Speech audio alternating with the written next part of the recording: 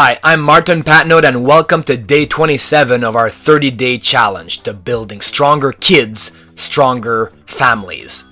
Staying fit along with your kids is easy if you have a system. We've broken hours down in easy to follow flashcards you can quickly shuffle and get a great workout in under 10 minutes. No need to figure anything out. We've done the research and the testing for you.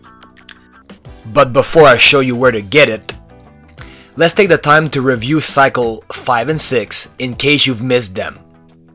Write these down or come back to this video for a quick review. Ready?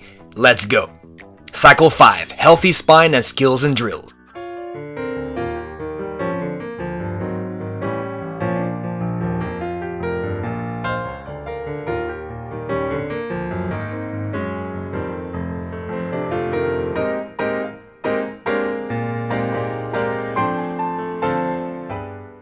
Cycle 6 Coordination and Backflips.